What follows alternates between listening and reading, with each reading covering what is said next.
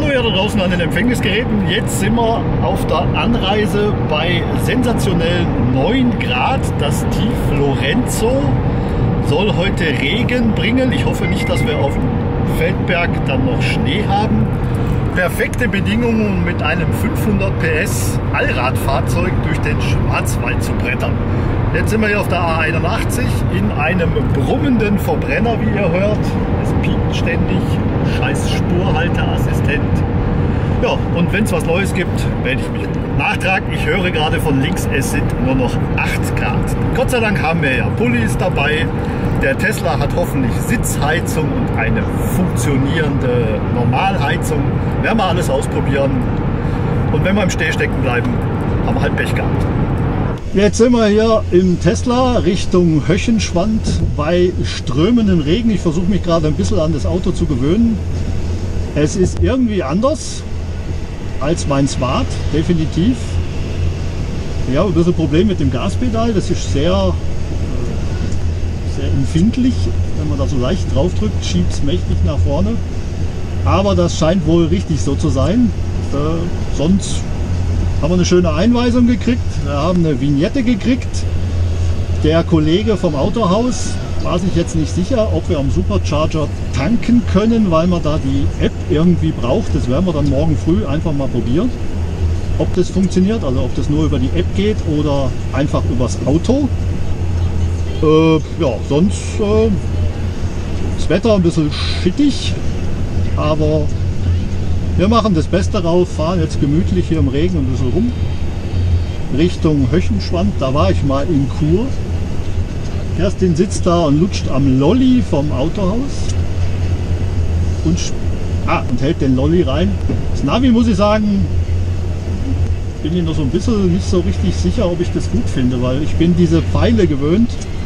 Und das ist ja so eine Google-Ansicht da, die sehr schön smooth da agiert. Den Rest haben wir hingekriegt. Sitzheizung funktioniert sehr gut, nicht wahr? Sag was. Mhm. Ja, also wenn man einen Lolli im Mund hat, wird es schwierig. Äh, ja, sonst fährt sich eigentlich wie ein normales Auto. So, und jetzt melden wir uns dann nachher nochmal aus Höchenschwand. So, wie man jetzt sieht, sind wir fast schon in den Wolken. Äh, das Wetter ist also perfekt. Es ist, äh, keine Ahnung, was haben wir denn, wie viel Grad draußen? Hm. Wo zeigt das Auto einem an, wie warm es ist? Da oben, 7 Grad. Also wir haben, wie man sieht, perfektes Wetter. Ich sehe gar nichts. Wir sind hier mitten in der Wolke. Äh, ich hoffe mal, wenn wir dann nachher wieder runterfahren Richtung äh, A81, äh, wird es ein bisschen schöner, weil das ist ja Mordsuppe hier. Das macht gar keinen Spaß. Vor allem für mich so als schlechter Seher sieht man ja gar nicht, wo es hier lang geht. Also Autobahn, die Höchstgeschwindigkeit ausloten wird heute wahrscheinlich auch nichts werden. Also ich gehe da auch kein Risiko ein, ich bin nicht allein im Auto. Und äh, bei so einem Wetter fahre ich dann höchstens vielleicht mal 150. Ja, wir melden uns vielleicht wieder, wenn das Wetter mal schöner wird. So, jetzt sind wir auf der Autobahn. Leider hier überall Baustelle. Wir waren bei McDonalds, lecker Futter. Schmeckt also genauso gut im Tesla wie im Smart und ist wahrscheinlich genauso ungesund. Aber wir hatten jetzt irgendwie Hunger. Jetzt geht es erstmal heim, auf die Mainau vielleicht, obwohl jetzt tröpfelt es gerade wieder arg, da noch mal ein bisschen laden. Akkustand 62 Prozent. Da kommen wir also locker morgen wieder zurück. Ich denke, da brauchen wir gar nicht laden. Durchschnittsverbrauch ist extrem niedrig, weil es hat zwischendrin wirklich mal gegossen ohne Ende. Da waren wir dann mit 80 auf der Landstraße hinter irgendwelchen LKWs. Ich weiß gar nicht, wo der Durchschnittsverbrauch gerade liegt. 15,3. Also muss ich sagen, für ein Auto in der Größe finde ich das extrem wenig. Wir sind natürlich jetzt auch nicht wirklich schnell gefahren, weil einfach die Wetterbedingungen nicht dafür gemacht sind, jetzt hier mit 150 auf der Autobahn lang zu bretzeln. Aber so, jetzt sind wir dann doch mal 200 auf dem Tacho gefahren, aber ich merke so bei diesem regnerischen Tralala ist meiner Beifahrerin dann nicht ganz so wohl. Beeindruckend ist natürlich, wenn man bei 150 noch mal ins Pedal tritt, wie der dann auf einmal noch losschießt. Also das ist schon wirklich beeindruckend. Aber viel schneller möchte ich bei dem Regenwetter eigentlich auch nicht fahren, weil Ich habe das Ding nur gemietet und äh, möchte eigentlich auch heil wieder Hause kommen. Ich gehe davon aus, dass der auch 250 fährt. Das brauche ich nicht ausprobieren. Das hat dann der Herr mit den gebrauchten Unterhosen schon gemacht. Da bilde ich hier noch mal ein kleines Video ein. Panties. Yes, yes, I know you want it. I have them. Finde ich immer noch sehr, sehr witzig. Jetzt sind wir dann wieder bei 120 Radolfzell. Jetzt kommt dann nachher noch die Einfahrt in unsere Garage. Mal gucken, ob ich dann die Kamera noch mal laufen lasse. Äh, ist auch die Reichweite dann schon runter. Geschätzt auf 140, vorher waren es irgendwie 200 irgendwas. Dann fängt er natürlich schon an, auch äh, ich höre gerade, man soll langsamer fahren. Genau. Jetzt machen wir noch mal, das muss ich ganz ehrlich sagen, fällt mir relativ schwer, dieses äh, autonome Fahren da rein. Ich fühle mich da ganz komisch. Also ich, er fährt jetzt alleine. Ab und zu muss man mal das Lenkrad wohl bedienen. Aber ich muss ganz ehrlich sagen, für mich fühlt sich das komisch an. Wahrscheinlich fehlt mir da einfach das Vertrauen und wenn man dann mal ein paar Kilometer mit dem Ding so gefahren ist, dann wird es wahrscheinlich total normal sein. Nur jetzt habe ich irgendwie das Gefühl, der fährt mit mir, was er natürlich auch tut. Äh, aber es fühlt sich einfach komisch an. Jetzt fängt er so wenig an rumzurütteln, wegen dem da vorne. Mal gucken, ob er auch selber hier so Spurwechsel fabriziert. Ne, das kann der noch nicht. Oder doch? Ne, das macht er nicht. Ich dachte, irgendeine Version könnte das, dass man dann, wenn er dann blinkt, auch selber die Spur wechselt. Macht er aber nicht. Keine Ahnung, vielleicht mache ich auch was falsch. Aber wie gesagt, ich fühle mich da irgendwie sehr komisch. Das Auto fährt mit mir oder mit uns. Kerstin, sag mal was. Sie will nicht sprechen. Verstehe ich gar nicht. Achso, Lenkrad rein. So, jetzt ist es wieder raus. Ja, jetzt sind wir dann zu Hause. Ich werde ja nachher in der Garage noch ein kleines Fazit oder einen Zwischenstand einsprechen. Ich hoffe, dass der Ton überhaupt funktioniert. Äh oh, sie hat in die Kamera geguckt. Wir wollten eigentlich noch so ein kleines Greta Thunberg Pappschildchen machen, was sie die ganze Zeit sich vor das Gesicht hält, aber das haben wir irgendwie vergessen. Und es gibt wieder Daumen runter von den ganzen Klimagollum-Anhängern. Das machen wir dann nicht. So, jetzt ist hier wieder 100. Jetzt nähern wir uns da So, jetzt sitzen wir hier noch mal im Auto. Wir sind wieder daheim in der Garage. Die Einfahrt habe ich natürlich nicht gefilmt, weil das alles viel zu spannend war. Aber es ist relativ eng hier. Da drüben hängen unsere Stand-Up-Pedalboards. Da vorne hat es Fahrräder und ihr seht, hier drüben ist auch nicht mehr viel Platz. Also das ist schon ein relativ großes Auto. Und jetzt versuche ich mal so ein bisschen meine persönlichen Eindrücke, die ich heute da gesammelt habe, euch mal irgendwie ein bisschen rüberzubringen. Fangen wir mit den Sachen an, die mir sehr gut gefallen haben. Gut gefällt mir der Innenraum. Ich muss echt sagen, dieses weiße, das ist jetzt nicht weiße Leder, es ist ja kein Leder, es ist irgendwie veganes Leder, also auf Deutsch Kunststoff. Wirklich sehr, sehr schick. Mir gefällt das total gut mit dieser weißen Leiste hier vorne. Ich mag den schwarzen Innenraum auch gerne, aber ich mag dieses Holzbrett, was hier vorne ist, überhaupt nicht. Innenraum muss ich sagen, wirklich absolut schick, stylisch. Die Sitze wirklich bequem, relativ weich, aber man ist wie in so einem Polster drin. Ich habe auch relativ schnell eine relativ bequeme Sitzposition gefunden. Das Lenkrad ist schön klein. Also ich muss sagen, auch die Verarbeitungsqualität hier innen kann ich jetzt also ehrlich nichts dran finden. Also ich finde, das sieht echt ordentlich aus. Hier diese Klappen, das ist halt so Hochkranzzeug, das wird wirklich schnell verkratzen. Auch wirklich riesige Ablagen hier unten drin. Auch hier, also ich muss ganz ehrlich sagen, Verarbeitung, was da immer so gemeckert wird, also ich finde, das wirkt für mich ziemlich hochwertig. Auch schön, ihr seht es leider nicht, hier oben ist ja alles Glasdach. Also man hat ein sehr, sehr helles Auto. Natürlich mit dem hellen Innenraum wird es nochmal verstärkt. Also ich kenne es vom Smart, der hat ja oben auch ein Glasdach.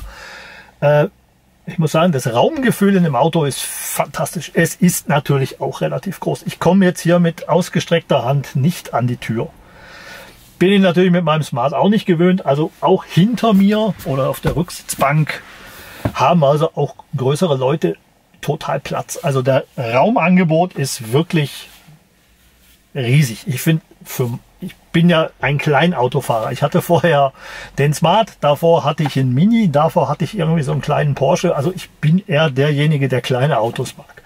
Für mich ist das ein Riesenauto. Platzangebot hinten im Kofferraum kriegt man seine Oma rein, kriegt man vielleicht auch die Schwiegermutter rein. Also kann man nicht sagen, vorne der Thrunk oder Thrunk oder wie das Ding heißt, reicht für die Ladekabel, irgendein Ladegerät fürs Verbands, äh, Verbandsdreieck, nein, für Verbandskasten und Warndreieck hat man also auch, da kann man vielleicht auch noch ein paar Handschuhe reinmachen, wenn man irgendwie, keine Ahnung, oder eine Decke. Ich habe immer eine Decke im Auto, falls man mal eine Panne hat was bei so einem Auto natürlich vorkommen kann. Als nächstes haben wir natürlich die Fahrleistung. Die konnte ich heute gar nicht erfahren. Dafür war das Wetter einfach nicht gemacht. Es hat immer geregnet. Es hat teilweise sehr, sehr stark geregnet. Die Straße war nass. Die Autobahn war voll. Baustelle und nass. Äh, ich probiere es da nicht auf der letzten Rille hier wirklich alles. Aber man merkt, wenn man hier das Pedal nach unten tritt, geht massiv fast nach vorne.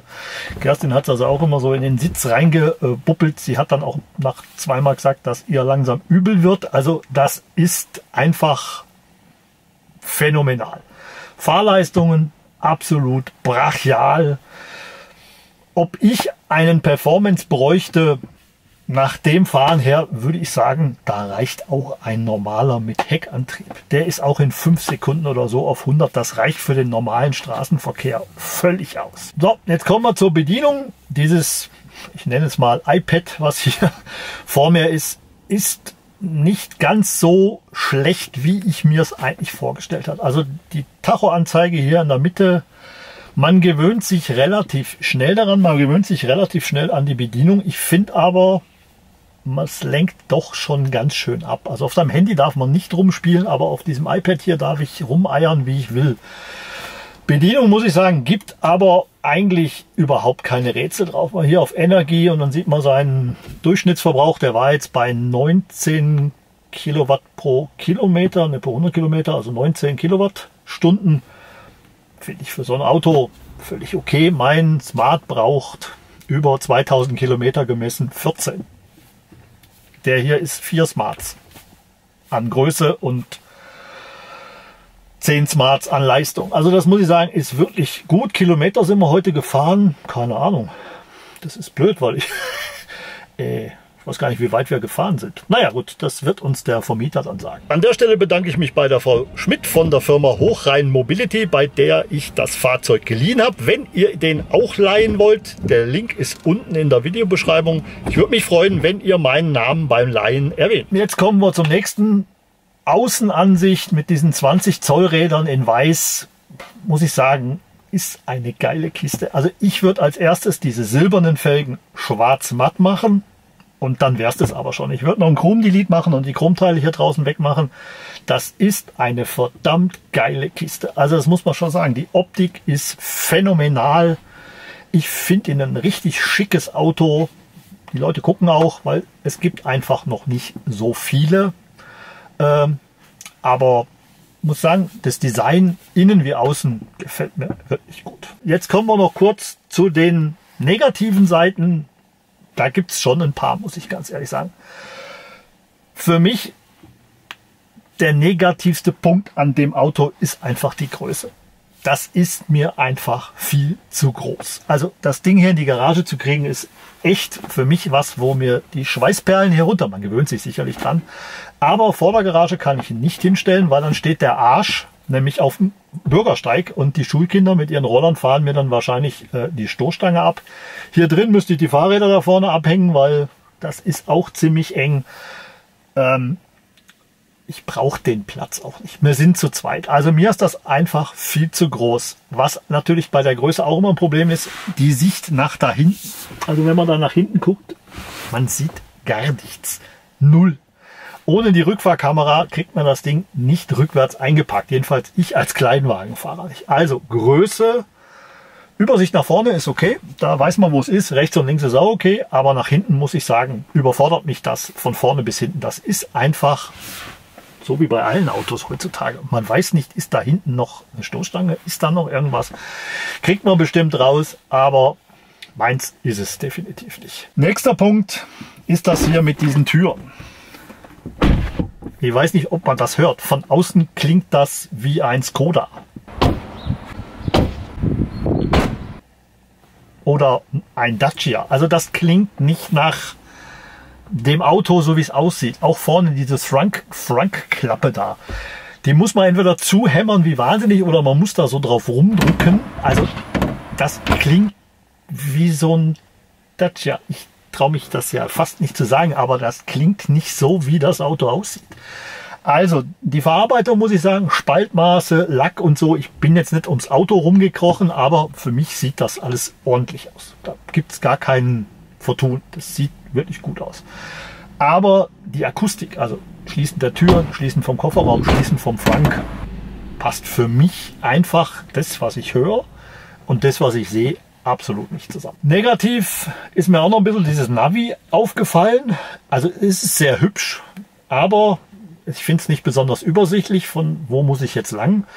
Und, und was ich fast gar nicht glauben kann, ist, ich kann keine Zwischenziele eingeben. Also ich möchte von Alpbruck nach Höchenschwand, nach Engen, nach Konstanz. So, das tippe ich in mein Smart ein und dann fahre ich darum. Das kann das Ding nicht.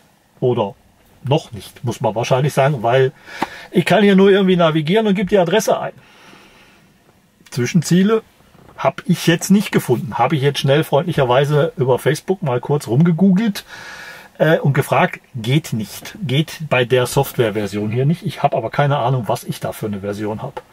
Was haben wir denn hier an Kilometern? 6350 hat er. Und die Spiele sind super. Das habe ich vorher noch, also das Furzkissen. Super. Also fast das Beste an dem Auto ist das Furzkissen. Also das Navi tat ich mich irgendwie mit schwer. Ich weiß nicht warum. Ich kann es euch nicht sagen. Irgendwie diese Darstellung, wo muss ich jetzt rumfahren, das Gedrehe, das lenkt mir einfach auch ein bisschen zu viel ab. Ich habe das gerne hier irgendwie. Da weiß ich, da, da muss man, glaube ich, ein bisschen mit warm werden. Ich weiß nicht, bin vielleicht auch alt und altmodisch. Ich hätte gerne hier vorne irgendwie zumindest die Geschwindigkeit. Das weiß nicht, immer darüber gucken, weiß ich nicht. Gewöhnt man sich garantiert dran. Aber ich hätte gerne hier so ein Head-Up-Display. Die können alles in dem Auto, die können sogar furzen. Also werden sie wohl doch irgendwie da vorne ein Head-Up-Display hinbringen, wo man einfach nur sieht, ob man jetzt rechts abbiegen muss oder links abbiegen muss, wie schnell man fahren darf und wie schnell man ist. Das ist überhaupt ein Problem bei dem Auto. Man ist ständig zu schnell, weil man tritt da drauf und dann ist der auf 80 da ist mein Smart auf 20. Also man ist einfach immer zu schnell. Man hört es ja auch nicht. Man hat ja auch nicht wie beim Benziner, dass man dann hört, sondern der und dann ist er dann auf 100 irgendwo in der Stadt. Also für den Führerschein ist das ein ganz gefährliches Auto, würde ich sagen. Also da muss ich sagen, Navi, weiß ich nicht. Wie gesagt, Bedienung super, Innenraum super, Sitze super, Größe ist nicht so mein Ding. Akustik ist nicht so mein Ding. Übersichtlichkeit ist nicht so mein Ding. Ich muss sagen, ich bin enttäuscht, wäre jetzt übertrieben, aber ich dachte, der, der Thrill wäre mehr. Also das Auto ist gut und aber es hat mich jetzt nicht so gepackt, wie ich mir das gedacht habe. Also ich bin vorher in Smart reingesessen und dachte, oh, ist das schön hier so ein, so ein Hebel, wo man vorwärts und rückwärts einfach machen kann. Hier mit diesem komischen Hebel, da wird man sich wahrscheinlich auch dran gewöhnen, kein Thema. Aber einfach so auf der Straße mal kurz umdrehen. Das Ding hat einen Wendekreis wie jedes normale Auto. 11 Meter, 10 Meter, keine Ahnung. Wenn ihr das wisst, schreibt das unten in die Kommentare. Lange Rede, kurzer Sinn. Es, es hat mich nicht so, es hat mich nicht so berührt, wie ich eigentlich gedacht hätte. Also, nicht falsch verstehen. Ein geiles Auto. Super. Aber ich glaube, ich warte vielleicht noch aufs Mittel Y. Das ist auch noch ein Nachteil. Der Kofferraum, der ist riesig, aber durch diese Klappe kriegt man da hinten gar kein Fahrrad, jedenfalls nicht wirklich alleine rein. Mit so einer großen Heckklappe könnte man das Fahrrad super rein, also platzmäßig, man kann da fast drin schlafen, aber man muss halt durch diesen Kofferraumdeckel da irgendwie durch. Das gefällt mir auch nicht so. Aber lange Rede, kurzer Sinn. Es ist irgendwie eine geile Kiste. Also dieses iPad hier, ich würde es am liebsten jetzt abschrauben und mit nach reinnehmen. Aber mich hat es jetzt nicht so, so gethrillt, wie ich mir das eigentlich vorgestellt habe, muss ich ganz ehrlich sagen. Also ich hatte mir mehr Euphorie irgendwie erwartet. So, beim Fahren. Lag vielleicht auch ein bisschen an diesem schlechten Wetter macht dann vielleicht auch nicht so viel Spaß. Wächtermodus. Zwei Ereignisse. Er hat irgendwie den Wächtermodus an. Wie kriege ich denn den wieder aus? Ich brauche ja keinen Wächter. Ich bin in der Garage. Da fliegen immer Vögel rum und dann piept der hier die ganze Nacht. Wie kann man denn den abstellen? Wahrscheinlich irgendwo da. Irgendwo muss ich den Wächter. Sicherheit. Nee. Wächtermodus. Wächtermodus an. Machen wir den aus. Ich brauche doch keinen Wächtermodus. Hier passiert nichts. Wir sind in Einsbach. So, Jetzt habe ich euch, glaube ich, ziemlich viel, wie immer, etwas fadenlos erzählt, wie das so war. Jetzt mache ich vielleicht noch ein kleines Video morgen bei der Rückfahrt. Ich befürchte, das Wetter sieht nicht gut aus. Genauso wie heute. Kalt, regnerisch. Fahren halt über die Schweiz. Da werde ich nochmal an einem Supercharger Halt machen. Einfach um nochmal zu probieren, wie geht das? Wie einfach ist das? Weil das kenne ich ja von meinem Elektroautochen. Da ist es nicht immer einfach, weil man hat wieder nicht die richtige Karte oder die richtige App. Hier bin ich mal gespannt, wie das funktioniert. Rückwärts an das Ding fahre, ist natürlich bei der Größe für mich jetzt schon wieder eine Challenge hier, aber man gewöhnt sich da sicherlich dran. Die Kamera ist super. Also das Bild hat auch Kerstin sofort gesagt, wow, ist ja wie ein Fernseher. Ja, das Fernsehbild ist echt super. So, jetzt würde ich sagen, schneide ich euch nochmal zurück oder ich setze den Teil ans Ende. Ich bin dann noch in der Findungsphase. Ihr müsst da ein bisschen... Das sind nicht so Video, Videos wie bei 163 Grad. An der Stelle grüße ich den Oliver übrigens. Beeindruckend. Videoqualität, Schnitt, Ton, brutal. Könnte sofort hier auf RTL, Vox oder sonst wo laufen. Abartige Qualität, abartig strukturiert, abartig sachlich. Ich ziehe meinen Hut. Ähm, das war jetzt nur so ein kleiner Einschieb. So, und jetzt schalte ich euch entweder ins Outro oder nochmal in so ein Fahrbild rein. Das lasse ich jetzt mal auf mich zukommen. Peace.